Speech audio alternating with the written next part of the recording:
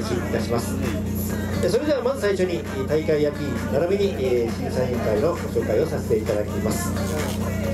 大会名誉会長自由民主党衆議院議員副幹事長宮内秀樹議員でございます。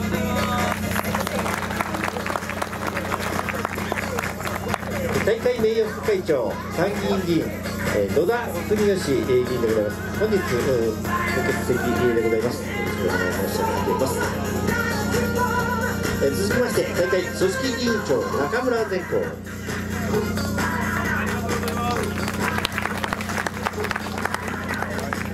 え JAF 九州本部事業部長武井和弘。トヨタカローラ福岡株式会社代表取締役専務井上直さん。続きまして協議会審査委員会をご紹介させていただきます。JAF 派遣審査委員長鶴松正彦。JAF 派遣審査委員稲玉秀幸。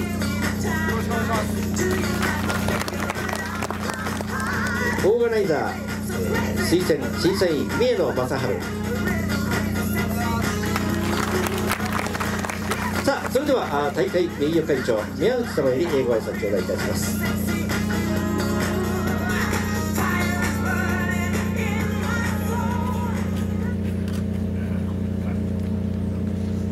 え皆さんおはようございます。そしてまたこの福岡福津に全国からお越しいただきましてありがとうございます。今年の大会は桜満開の中での大会になりましてまた日は雨もおそらく大丈夫だと思いますしいいコンディションの中での大会ということになると思いますので、え素晴らしい皆さん方のパフォーマンスを期待したいというふうに思います。4月1日に新しい元号の発表がございました。令和という新しい時代を我々を迎えようとしております。今日お集まりの方々はおそらく平成の時代に車と出会いそしてそれぞれが車との向き合い方を進化させてきたわけでございます、えー、新しい時代になって社会における車の存在がどのように展開するのか予想がつかない部分もありますけれども特に昨今はモビリティとしての手段としての車というそういう社会の見方が増えております。もちろん AI 技術等々の進化によりまして新しい移動手段としての車の存在は社会生活を利便性を高めることでありますけれども車の持ってる魅力というのは昭和の時代平成の時代もっともっと違う価値観を持った人が多かったんだと思います。皆さん方のようにスピードを通じて車との関わりを深めそして競争する。またかっこよく走ること。かっこいいドライバーであること。さまざまな多くの価値観が車から社会を豊かにしていただいたと思います。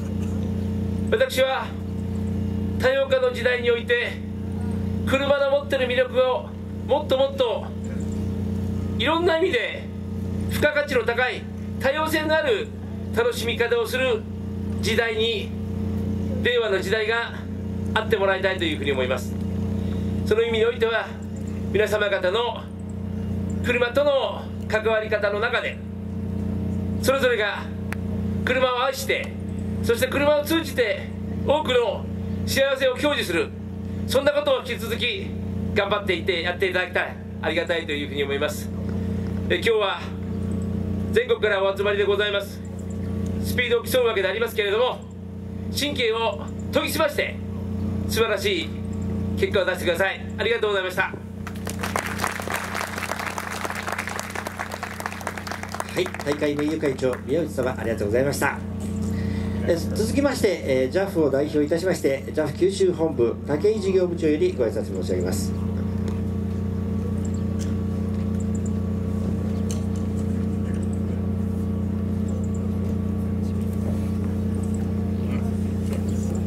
い、えー、皆さんおはようございます。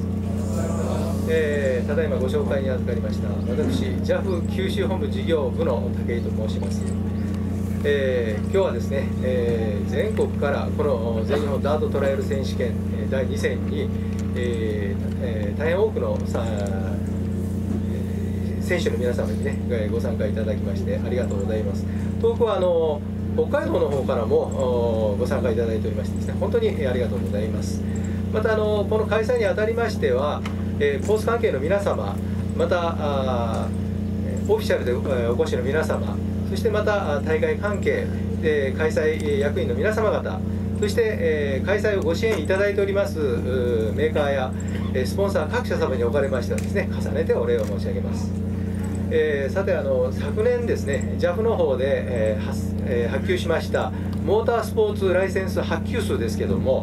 えー、これ9週間内になりますけども4988件ということですね、えー、昨年よりもこれが4.5%増加しました。えー、このようにですね、え、増加になったということはやはりあのここにいらっしゃる皆様をはじめとしてモータースポーツをですね、え、促進していただいております皆さんの活躍によってですね、えモータースポーツファンが、え、自らチャレンジしたいということで、えー、このライセンス取得につながっているということで、えー、大変嬉しく思っております、えー、そのようなことからですね今日は皆様方まあ、モータースポーツファンをさらに増やすべく、えー、最高の走りと、最高のパフォーマンスでですねこの会場を沸かせていただきたいなというふうに思っております。どうぞよろしくお願いします。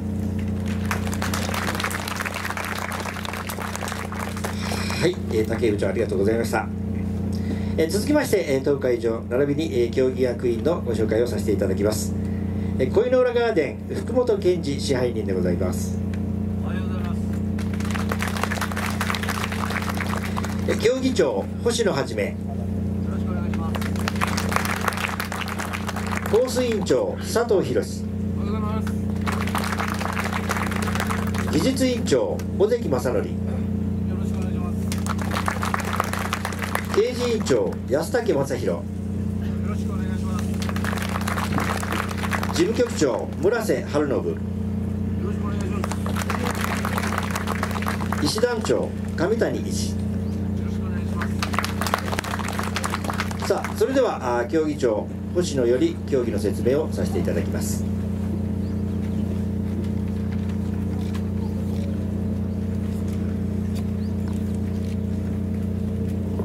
えおはようございます、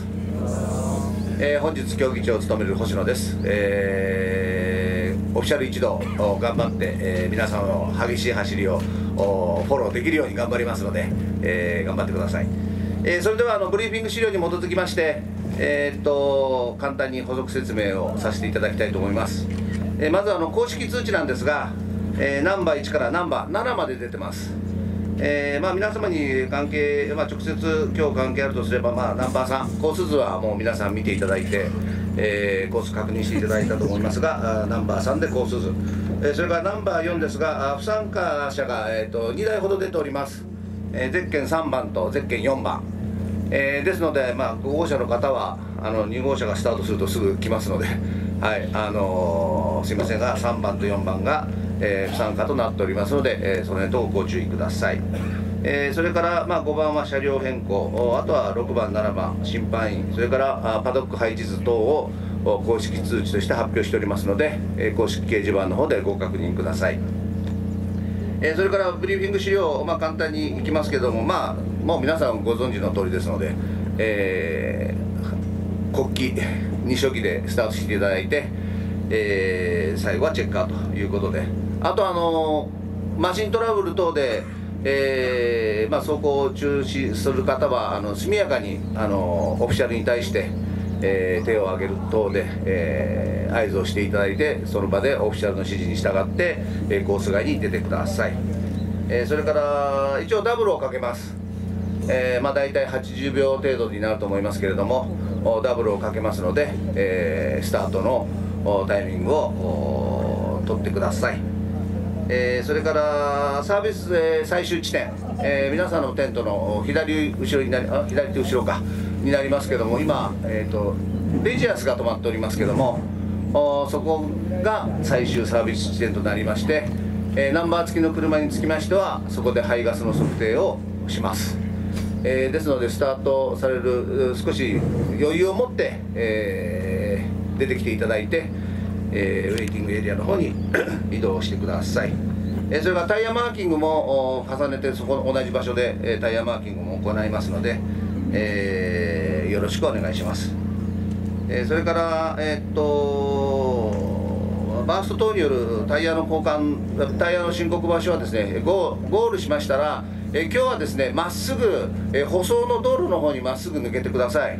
えーそこにタイヤ申告場所もありますし、えーその先で、えー A パドックに上がる方は舗装路を上がってきていただくような形になりますので、えーまあ、出走前の競技者とゴールしたあ競技者が、まあ、同じところを走ることになりますけどその辺はお互いに、えー注意し合って、えー譲り合って、えー移動をお願いします。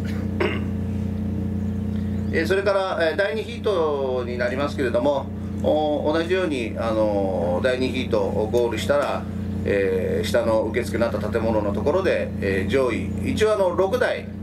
えープールします。6台プールして、えー再車検場は皆様の、えー、と右手になりますかね、えー黄色いテープが貼ってありますけど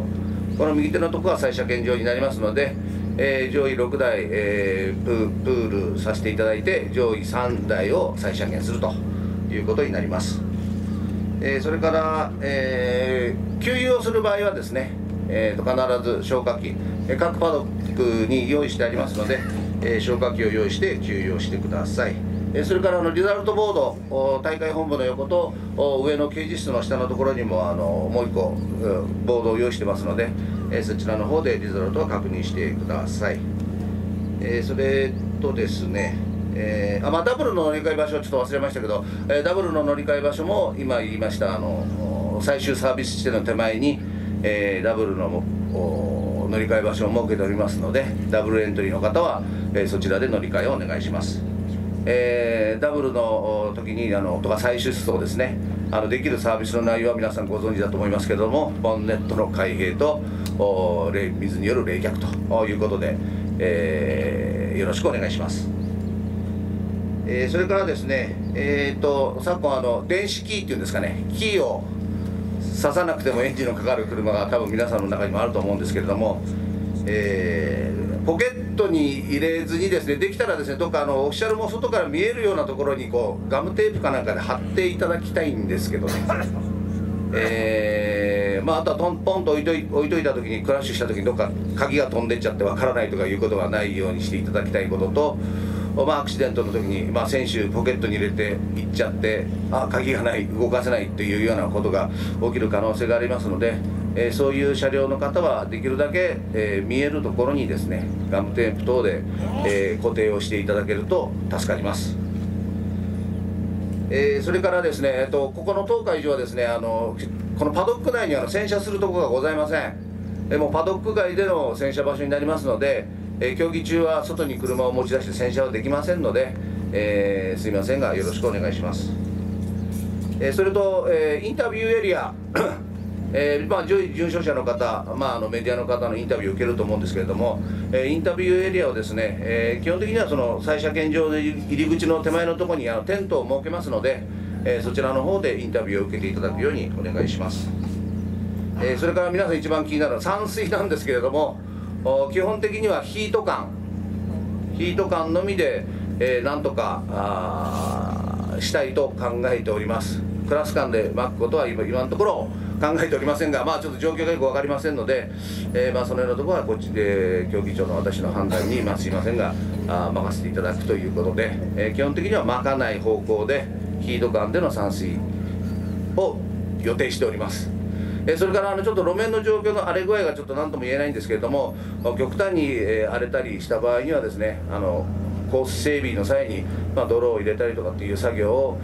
おする場合もありますので、えーその辺のところもお歩コースを歩かれた時の確認でよろしくお願いします。えーっとあとでさもっと最後ですね、えーっとすいません。あの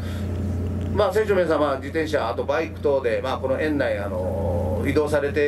いる様子があったんですけれども、あのまあ、スピードは控えていただきたいということと、それから2人とか3人で乗ってですねあの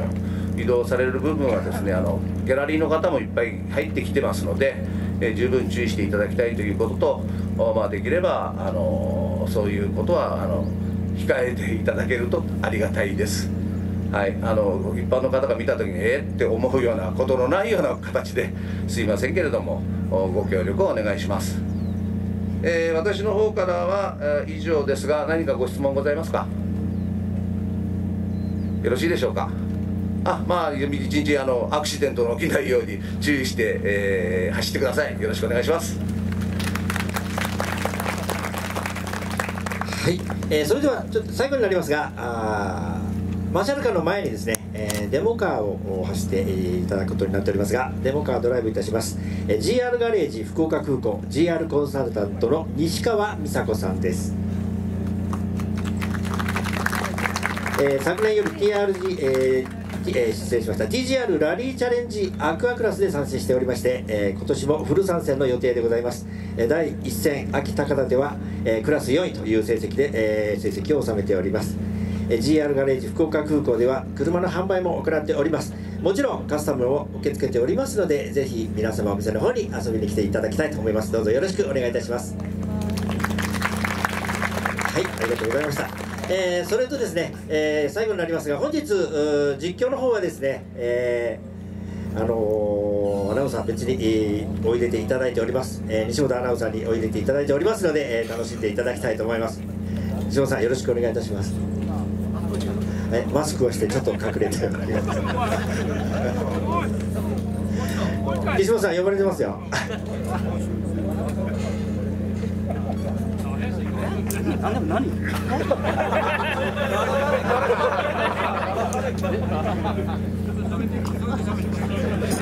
ゃあ一番高いところで。今広島に帰りました皆さんおはようございますいやー昨日はサバがうまかったです。というかえ？僕はサポートのつもりだったんですけど。金払うから。あー九州って何でも金で片付けるんですね。あれです。あ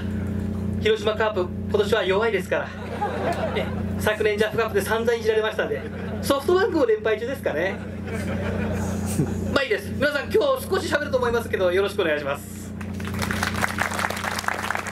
はい、ありがとうございました。えー少しとお言われてますけども、全部喋っていただきたいと思いますので、どうぞよろしくお,、えーお願いいたします。それでは皆様、今日一日どうぞよろしくお願いいたします。ありがとうございました。